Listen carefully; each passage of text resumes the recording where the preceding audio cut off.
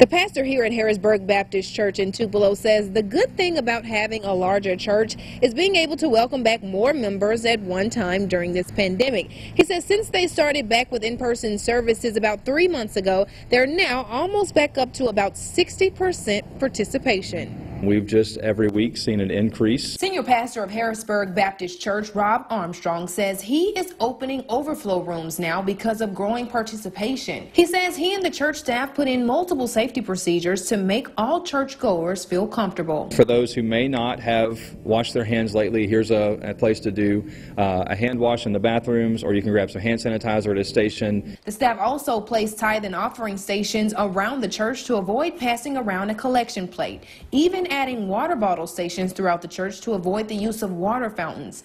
Masks are also offered. We're not policing relationships on the pews. However, there are six feet social distancing markers on every pew to ensure a member's safety. Armstrong says although many may enjoy watching church from home, it is important to come to church if possible. For the overwhelming majority of us, we, we need to, as we are able, to be making intentional steps back to worship. However, he said the church will continue to live stream services. Reporting in Tupelo, Aaron Wilson, WTVA 9 News.